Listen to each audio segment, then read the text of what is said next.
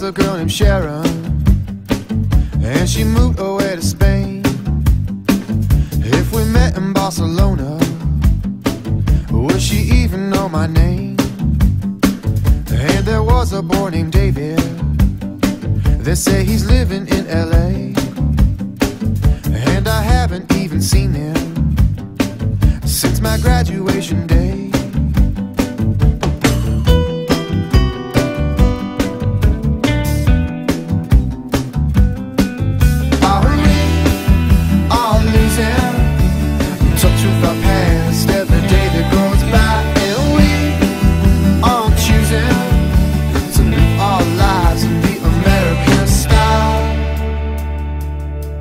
Uh-huh.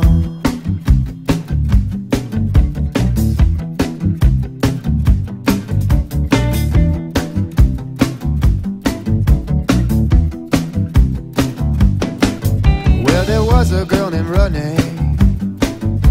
They say she split this town. She lives somewhere in Germany. I think she's married now. And there was a boy named Matthew.